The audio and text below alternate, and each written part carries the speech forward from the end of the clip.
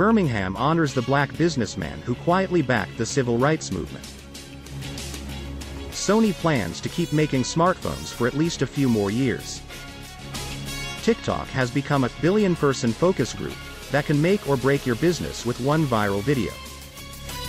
What is OceanGate? Meet the company that made a business out of risky deep-sea tours of the Titanic shipwreck. Three years after a pandemic shut down the country, COVID-related phone scams are once again on the rise. The Boebert vs. Greene fight isn't just happening in a lady's bathroom anymore, it's out on the house floor and uglier than before. Markets guru David Rosenberg says the tech stock frenzy reminds him of the dot-com bubble, and warns the U.S. economy is barreling towards recession. Obama privately met with AOC and other Democrats during a series of reported intimate chats with House Democrats. The Turkish lira plunges to its lowest level on record after central bank hikes interest rates by 650 basis points in inflation fight.